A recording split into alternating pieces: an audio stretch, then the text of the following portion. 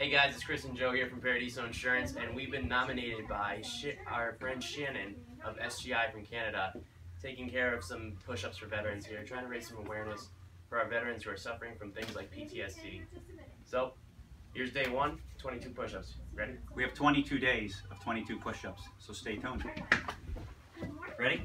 Yep. One, two, three, four, five, six, seven, eight, nine, 10, 11, 12, 13, 14, 15, 16, 17, 18, 19, 20, 21, 22. Day one. 21 more of those to come.